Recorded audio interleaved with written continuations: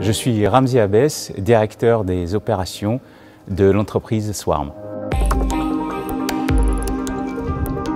Swarm, c'est un centre euh, d'accélération des innovations et des transformations industrielles. Swarm euh, veut dire en anglais essaim d'abeilles. C'est une manière d'essaimer, euh, de déployer de nouvelles expériences ou de nouveaux usages par l'innovation.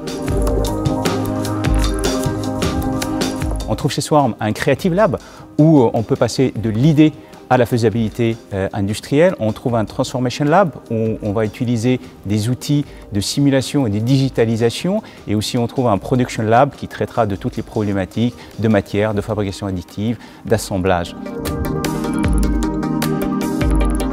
Une des valeurs ajoutées, c'est notre positionnement comme guichet unique qui centralise euh, l'expertise de ses membres au service de l'accélération des innovations sur des thématiques qui seront celles de l'objet connecté, celles de la simulation, euh, celles de la fabrication additive, où nos clients vont trouver un parcours en partant de l'idée jusqu'à la production. L'ambition de Swarm, c'est de devenir le carrefour de l'innovation euh, dans la région Auvergne-Rhône-Alpes.